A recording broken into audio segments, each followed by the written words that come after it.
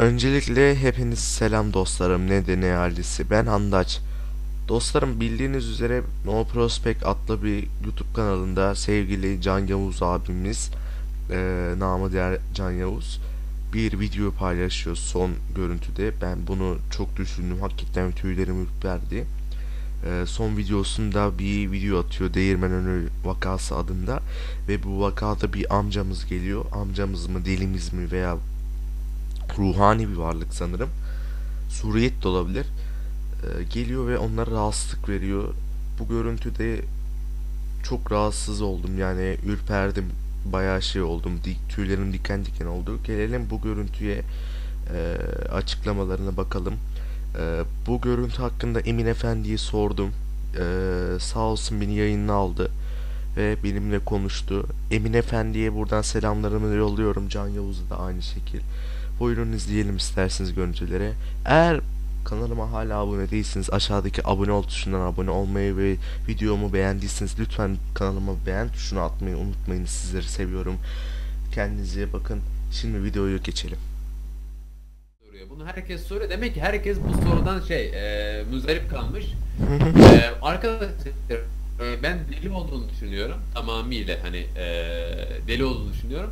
Ama ve lakin şimdi bu delilerin e, oralarda gece vakti gezmesi pek hayra alamet değil. E, oradaki varlıkların onu oraya getirmesi de olabilir. Karma ayini yaptıklarında o kişinin oraya gelmesi de sağlanmış olabilir. Pek çok şey var konuyla ilgili. Ya bir de şöyle bir şey sormak istiyorum. Can Yavuz'un yaptığı hani mumlarla ruh çağırma olayı ayin olarak geçiyor ya. e, günah mı yani yaptığı şey mi? Allah katını nasıl yani bildiğim yok da bir sormak Ee, istemişimdir. Öyle çağırmak günahtır biraz. Ee, yani günah boyutu var diye biliyorum. Hı hı. Ee, çünkü onlarla irtibata geçmek, kafir cinler çünkü onu çağırdığında kafir cinleri çağırıyor. Can bunu söyledim kendisine ama Hı hı. e, Can bunu hani yapmaya devam ediyor. Hı hı. E, kafir cinlerin çağrılmasını sağlıyorlar bunlar. Hı hı. Ama eğer ki yanlış bir şekilde bir şey yapılırsa, eğer yanlış bir şey yapılırsa bu e, konuda e, hayatlarından biri olma riskleri var. Anladım. Yani Ee, bunu kimse denemesin çünkü onların kullandığı şeyler e, farklı bir tılsımlarla. Mesela hepimizde bu yüzüklerden var. Biz bu yüzde bu yüzüklerden var. Hı hı. E, bu yüzükleri mesela özel olarak ben onlara yaptırdım ve onlara gönderdim. Şu an Arifana da gidiyor şu an yeni yüzük. Hı hı. İkisinde de var.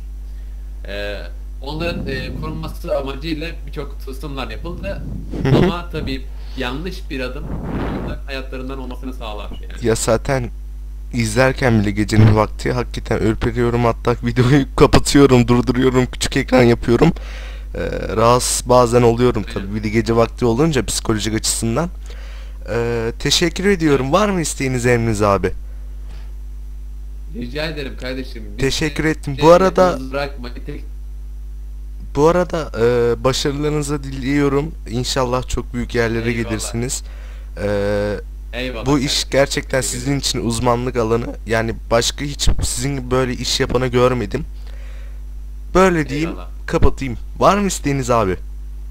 Eyvallah. Canını sağlık kardeşim. Teşekkür ederim aynı şekilde. Hadi Allah'a emanetsin abi. Sağ olasın. Eyvallah. Sağ olasın. Bay bay.